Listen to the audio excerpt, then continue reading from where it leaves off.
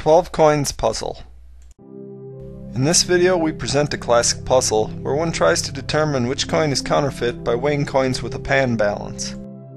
A pan balance can be used to determine whether one object is lighter or heavier than another. For example, if we put a heavy object on one side and a light object on the other side, then the side with the heavy object will go down.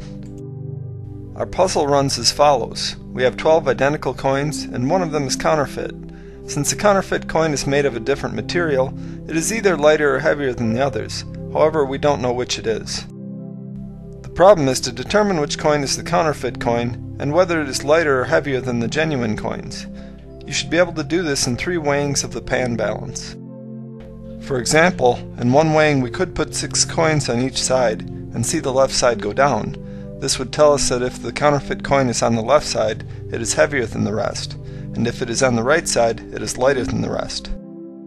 The solution to this problem will be posted on our website at xoax.net in the near future.